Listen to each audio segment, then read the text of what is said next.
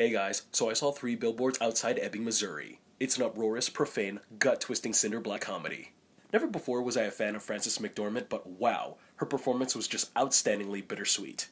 Woody Harrelson and Sam Rockwell were just unexpectedly terrific. They pretty much play the yin and yang of their law enforcement. It was superbly directed. I really enjoyed how the story's flow just went back and forth of how you could like a character and hate somebody amongst the three mains. Seeing how this is a movie that surrounds itself with the emotions and development of our characters, I found that a really unique way to blend the comedy and the drama together, and both those tones just really hit hard. I mean, in one moment, they could show a flashback of Frances McDormand having a fight with her daughter, and in the next, she's flipping Rice Krispies at her son's head. And some of the shit they end up doing to each other. I mean, Rockwell just beating the crap out of this guy and throwing him out the window, McDormand setting the police station on fire, teenagers getting their private parts kicked in.